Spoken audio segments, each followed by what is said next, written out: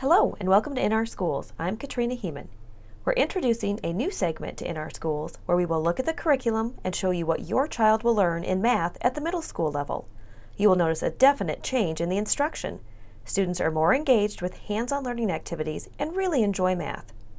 Today we will visit a 7th grade advanced math classroom at Hoover Middle School to see how students are engaging and developing deep conceptual understandings of math procedures. The students are engaged in activities that follow the recommendations set by Iowa Core Mathematics. The Iowa Core emphasizes teaching for understanding. The Iowa Core standards stress that mathematical understanding and procedural skills are equally important. The Waterloo Math curriculum is aligned with the Iowa Core and is built around instructional tasks focused on important mathematics that apply to everyday life. Students learn in an environment that stresses making sense of mathematics. They learn math content and develop fluency and skill that is well grounded in meaning.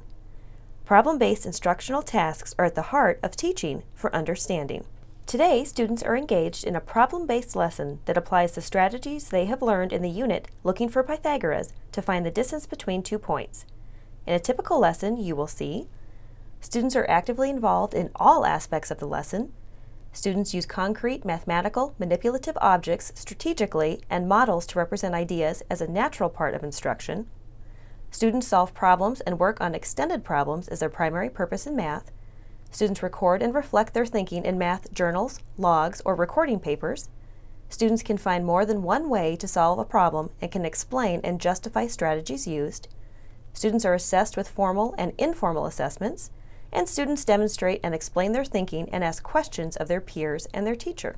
Students are expected to develop conceptual understanding of common mathematical practices, such as the Pythagorean theorem, because they need to know how to find the distance between two points, how to find the length of something without directly measuring it, what rational and irrational numbers are, and understand slope relationships of perpendicular and parallel lines. When students understand mathematics, they are more flexible in their estimation.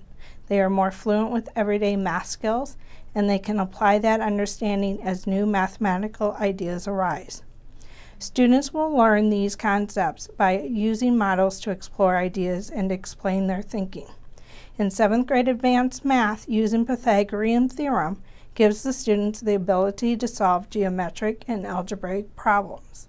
It is very easy for parents to help their children to continue learning at home.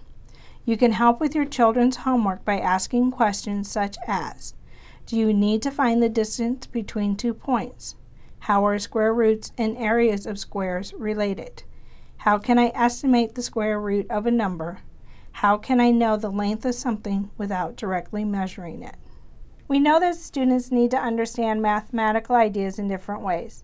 Teachers assess student learning by watching them work and recording what they see students do or how they explain their thinking. Students complete individual written assessments and explain their ideas. Since all of the concepts are connected, they are revisited throughout the year. Today was a great example of how 7th grade advanced math students are engaged in learning in the classroom and how hands-on activities really benefit the students' learning of math concepts. Please stay tuned or visit our district website for other programs as we continue to demonstrate what you can expect students in middle school to learn in math.